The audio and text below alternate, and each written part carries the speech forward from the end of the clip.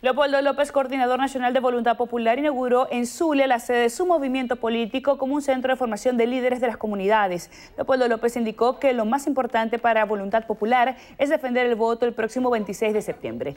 Llamó a los venezolanos a pensar en el futuro del país y su gente. Es fundamental que nosotros tengamos liderazgo, que tengamos diputados, que defiendan las regiones, que defiendan el pueblo, que defiendan la constitución y que defiendan la búsqueda permanente de la calidad de vida. Leopoldo López asegura que en el país hay un sentimiento de cambio que se sentirá en la Asamblea Nacional, pero para eso hace falta el voto de la gente, por lo cual invitó a todos a ejercer su derecho por una Venezuela mejor.